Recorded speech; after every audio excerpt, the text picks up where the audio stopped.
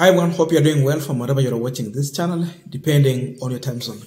Now, the people of Nyandarua woke up very early in the morning to go and vote out their former governor, Francis Kimemia, in favor of their current governor, Kiarie Badilisha. They did so because Francis Kimemia was associating himself with the immediately retired President Uhuru Kenyatta and the Jubilee Party. So, what all they needed was people who are going to cooperate with William Ruto and UDA or be within the Kenya Kwanza coalition.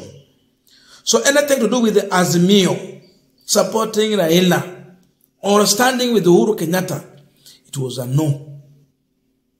So, Kimemia was sacrificed because of that. Right now, they have, an, uh, they have Badilisha as their current governor.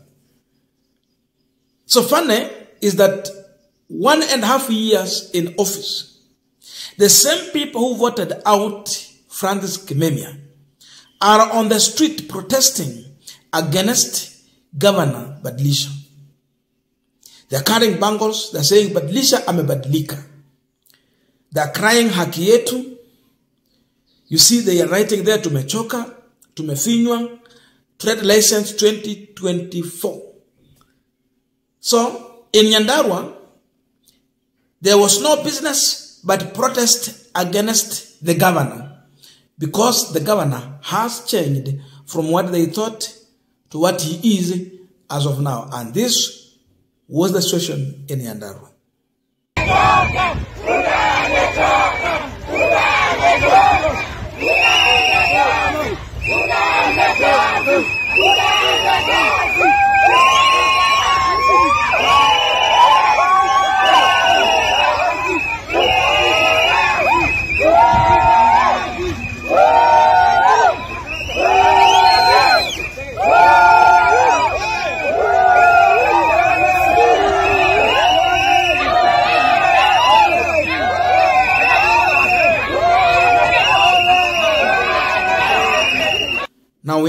Continuing this particular discussion, but just a quick request for those who are watching and you have not yet subscribed, please consider subscribing. To our returning subscribers, I thank you so much. And again, to all our viewers, please give this video a thumbs up. Thank you so much, and back to this discussion. Definitely, if these people are on the street protesting against the current governor, that he is increasing trade license 2024, that they don't have the best conducive environment for trading. It is simply because they were under Governor Francis Kimemia, uh, Francis Kimemia and they are seeing worst things happening with this regime that were not happening in the previous regime. So if they are protesting today, it means they have been oppressed too much compared to the previous regime.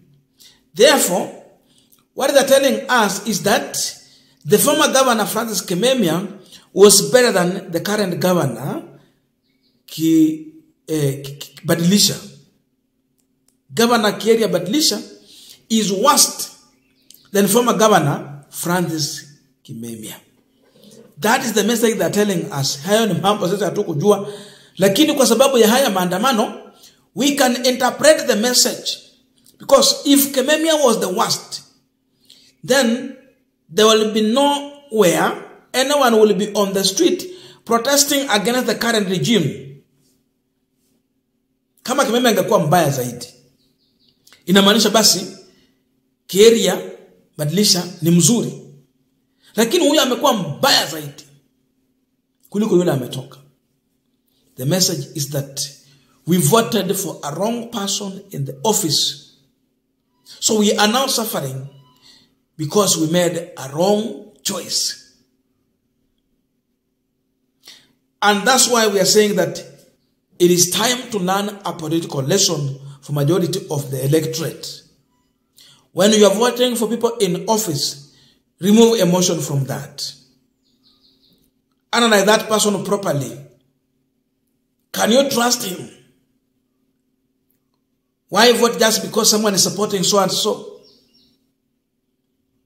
Because if they if they could have made a well-informed decision through the ballot, I don't think if Badilisha will be in the office, Kimemia will be serving in that office for the second time.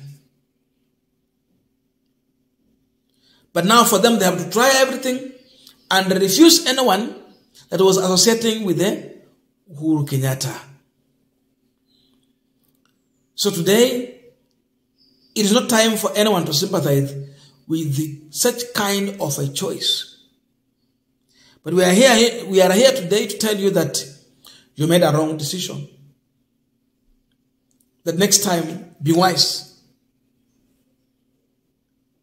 It is sad, it is so hurting when you vote for someone trusting that he will serve your interest.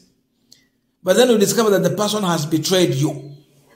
So the Nyandarua residents are suffering from betrayal that they have gone through in the hands of the governor.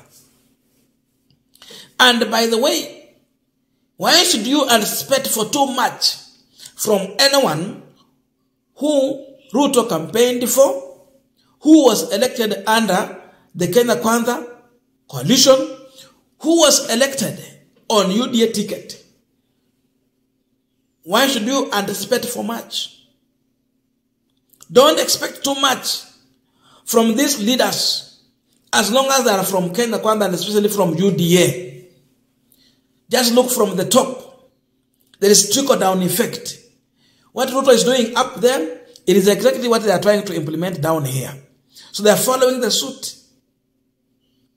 They are doing exactly what their leader is doing. Kwa hivyo kama Ruto amekusinya, amekufikisha mwisho. Usitarajie wale wandani wake ama wafuasi wake ama waliopigiwa kura kwa chama chake watakuja wakufurahishe. Hakuta kuwekwa na furaha yoyote. And that is a lesson we are learning from Nyandarua County. It is time for Kenyans to learn a political lesson.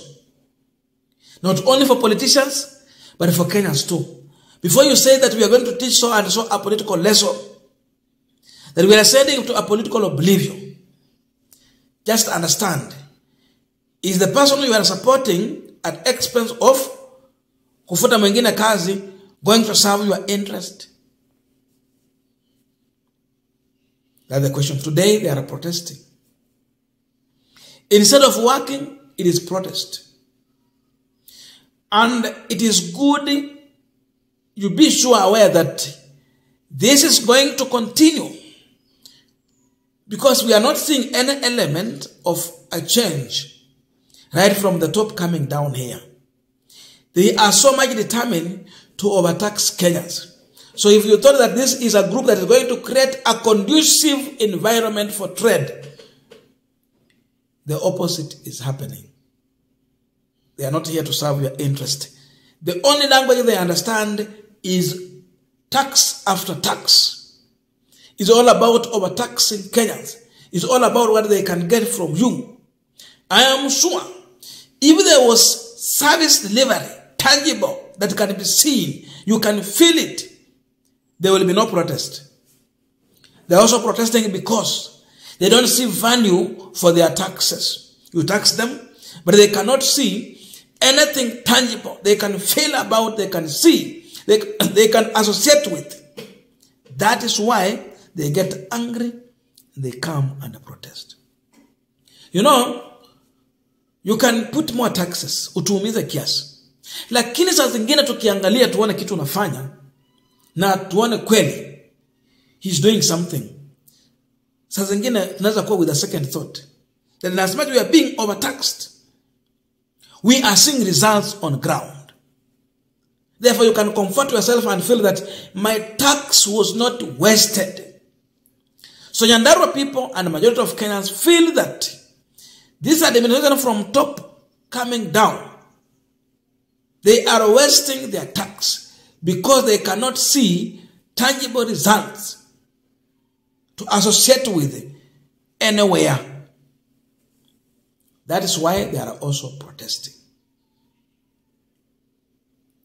So we will have five years of protest in Nyandarua and even in Kenya because it is something happening from national coming down. So don't blame Governor Kiarie Badilisha. What he's doing is not new. He's just copying exactly what his boss is doing at the top. And nothing is going to change as of now. This is going to continue.